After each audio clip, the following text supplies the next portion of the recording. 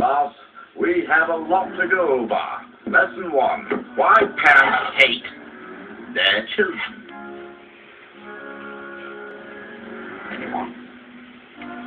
Doesn't Mommy read to us every night? You, the cute little urchin in the front row.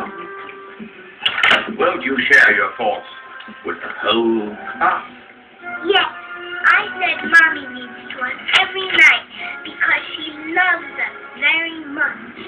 Isn't that the, uh, the real word catching?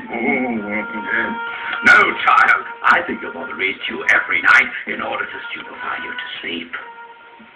So that she and Daddy can sit down for three measly minutes without you and your mindless, inexhaustible, unstoppable, repetitive, and nagging demands. He took my toy. She hit my bell. I want a potty.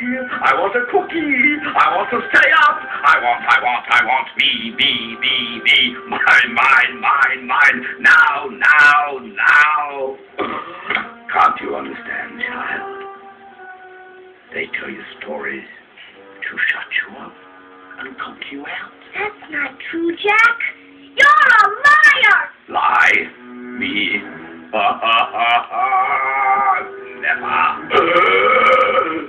Truth is far too much fun. oh, my child, before you were born, your parents would stay up all night together just to see the sunrise. Don't be frightened. Maggie, before you were born, they were happier and free.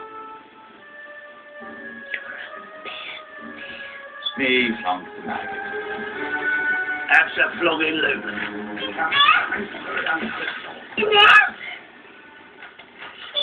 enough! Jack. Your father went to your sister's school play, did he not? Or did he go to your baseball game?